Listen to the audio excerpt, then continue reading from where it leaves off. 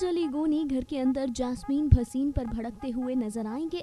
खुद अली जास्मीन पर ये इल्ज़ाम लगाएँगे कि जास्मीन है रूबीना दिलाइक के लिए biased.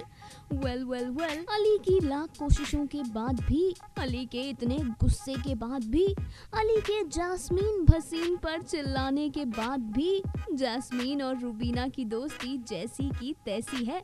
जरा ये देखिए।